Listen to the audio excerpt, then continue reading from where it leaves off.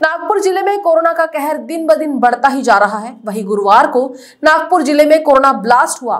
गुरुवार को नागपुर ज़िले में दो हज़ार छियासी लोग संक्रमित पाए गए। वहीं एक की मौत भी हो गई। इस लहर में कोरोना से दूसरी मौत हुई है।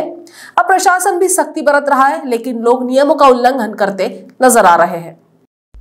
बढ़ते कोरोना संक्रमण से शहर भर में ऑन द स्पॉट आरटीपीसीआर जाँच भी की जा रही है। कोरोना संक्रमण फैलने का सबसे बड़ा कारण सुरक्षा नियमों का पालन न होना बताया जा रहा है। कई लोग अभी बगैर मास्क के घूमते नज़र आ रहे हैं। वहीं साप्ताहिक बाजारों में भरडी, इतवारी परिसर में भी लोगों की भीड़ देखी जाती है। गुरुवार को ज़िले में कोरोना ब्लास्ट हुआ। दो हज़ार छियासी संक्रमित पाए जाने से प्रशासन की चिंता और बढ़ गई है।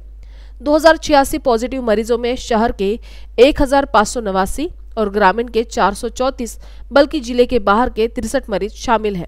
जबकि 470 मरीज़ ठीक होकर अपने घर लौटे हैं। जबकि ज़िले में 7,303 एक्टिव मरीज़ है। वहीं गुरुवार को तेरह लोगों ने कोरोना टेस्ट कराई जिनमें से दो हज़ार छियासी लोग संक्रमित निकले। इसीलिए प्रशासन द्वारा सतर्क और नियमों का पालन करने की अपील की जा रही है।